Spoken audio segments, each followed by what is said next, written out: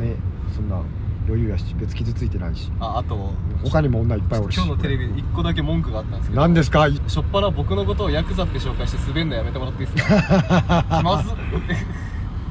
うん、なんか分かりやすいボケかなと思ってあのバンコク共通の。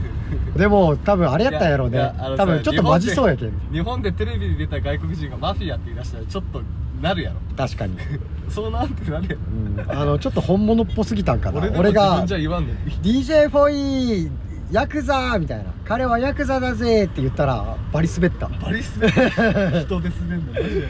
うん、あれは滑ったっていうか引いとったんかな。ちょっと引いとったよ、うんそそれで俺が TikTok 伸びなかったらいやフォイがちょっと怖いけんっていうのやめてくださいよ。社長のせいじゃないですか。やっぱ笑顔が大事だね。怖い人ほど笑顔があったらやっぱギャップがあるんよね。こっちない笑い方したわ。僕初めて思いました。ガヤいて滑るやめろやめろやめろ。その暗いところからのお前そういうのやめろお前